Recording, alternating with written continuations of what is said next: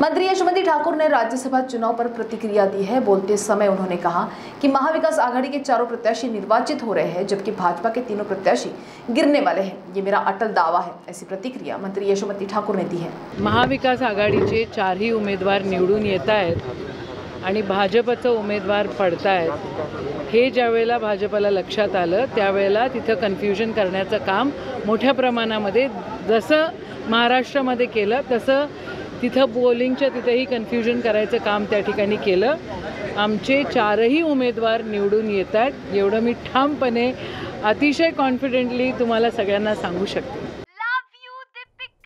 Bye सब जानना चाहते हैं।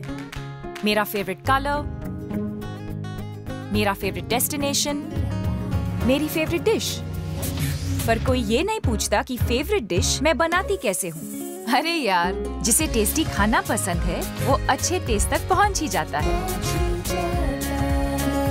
सुरुचि मसाले। खाने में हो रुचि तो घर लाइए सुरुचि।